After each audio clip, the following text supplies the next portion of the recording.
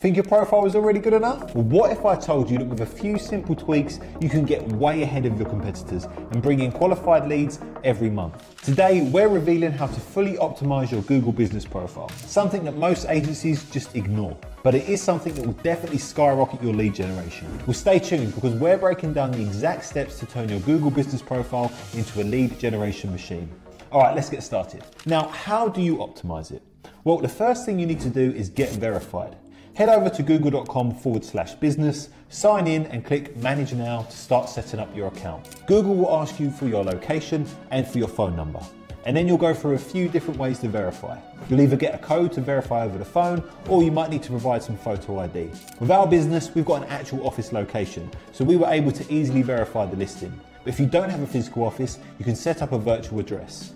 And once that's done, now you want to start optimizing your profile. So the first thing you're going to do is Google your company name while logged into the Gmail account associated with the listing. You'll see a dashboard that looks like this. You can edit your profile, read reviews, upload photos, check performance, and much more. Now, when you click on edit your business information, you'll see all of your business details over here.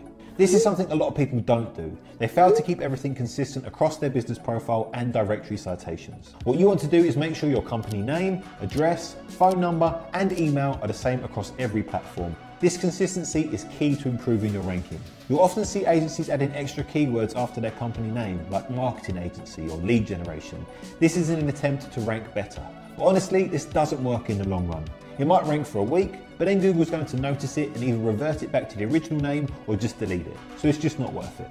Another thing some agencies will do is have their company name listed differently across platforms by adding limited at the end on one but not on the other. This inconsistency can hurt your listing, so make sure everything is the same across the board. The next thing you're going to do is to categorize your business correctly.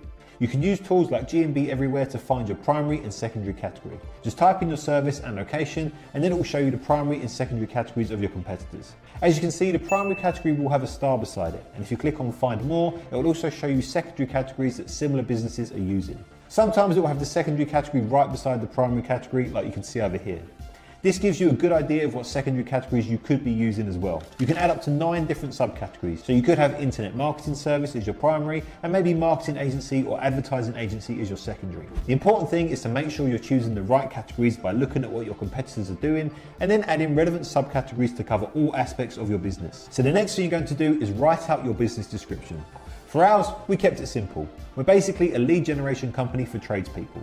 So we've included some of the keywords we want to rank for, like leads, and specific trades like roofers, landscapers, plumbers, heating engineers, drainage contractors, and window repairs. You can get a lot more detailed if you want.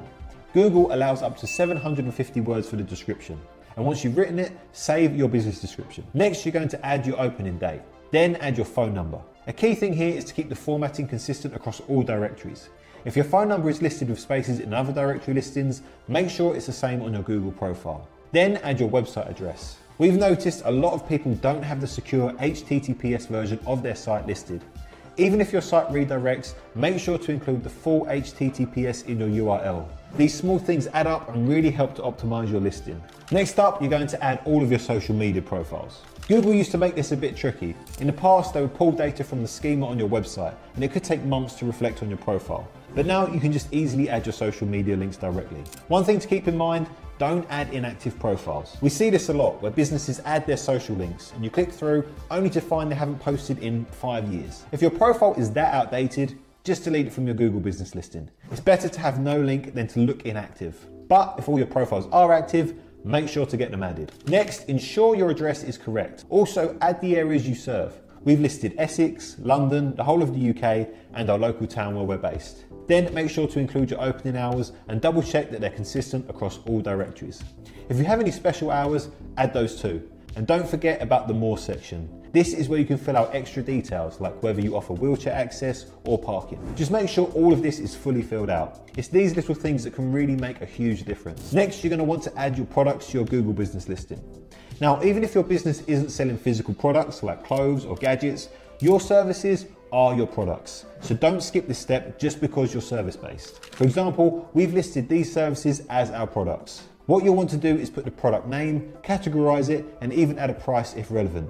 Then in the description, briefly explain the service. Like job leads for residential and commercial electricians, and link it through to the relevant page on your website. When users click through, they'll land on our electrical job lead page where they can watch a quick video, fill out a form, or read more about the service. This kind of setup ensures that even though you're not selling physical products, you're still showcasing your services effectively. The same goes for any service based industry, like law firm marketing. You could list all different services like personal injury marketing, criminal defense marketing, or immigration law marketing. Just make sure all of your services are listed as products. On our website, we have numerous service pages for various lead generation services. For instance, we target different trades like plumbing leads, solar panel job leads, loft conversion job leads, and more.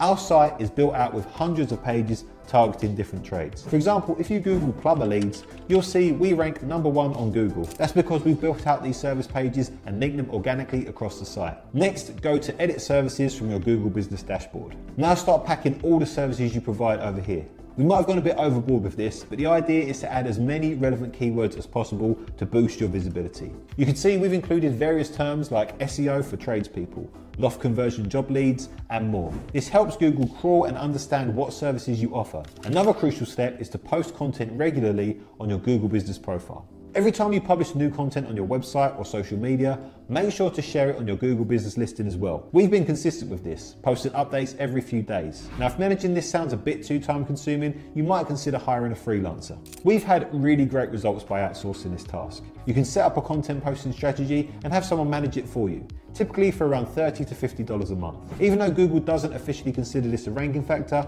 we've seen a noticeable boost in engagement since we started. And that is how to optimize your agency's Google business listing. Thanks for watching. If you found this video helpful, please give it a thumbs up and hit the subscribe button so that you never miss our future content. If you want more tips on running an agency and getting more qualified leads, then there's a link in the description where we've built a series of videos just for you. Also, drop us a comment below with your thoughts or any questions you have. We read and respond to all of the comments we get. Have a great day. I'll see you on the next one.